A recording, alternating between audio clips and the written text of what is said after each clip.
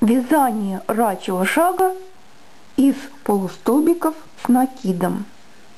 Вязание производится слева направо. В конце ряда провязываем одну воздушную петлю. Делаем накид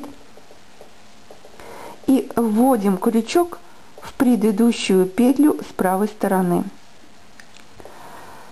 Захватываем рабочую нитку, протаскиваем ее и дальше протаскиваем ее через две петли.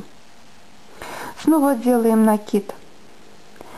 Вводим в предыдущую петлю справа, захватываем рабочую нитку и протаскиваем ее через все петли.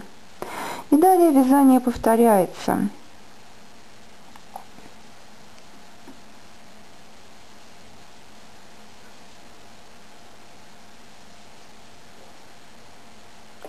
Такой рачий шаг получается очень плотным.